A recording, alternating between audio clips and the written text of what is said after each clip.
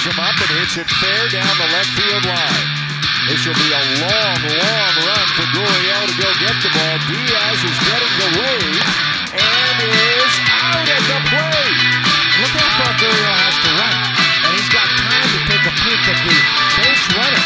And then he throws it all the way on the fly to Danny Jansen, who puts the tag on Diaz. What a terrific throw from the left fielder.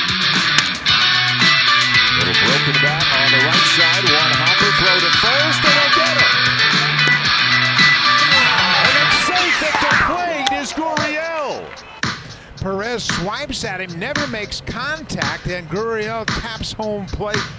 An infield hit, and the Blue Jays score two. Take another look at it as Perez reaches for him, and he takes his hand away, and then slaps his right hand on the